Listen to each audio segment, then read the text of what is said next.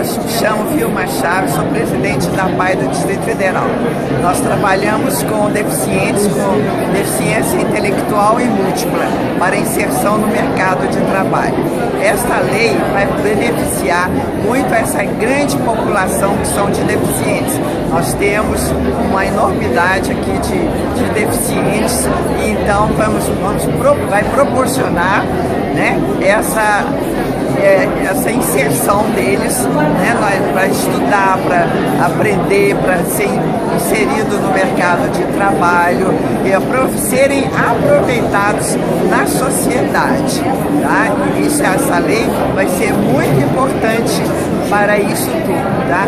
porque nós temos muita dificuldade de inserir os nossos alunos.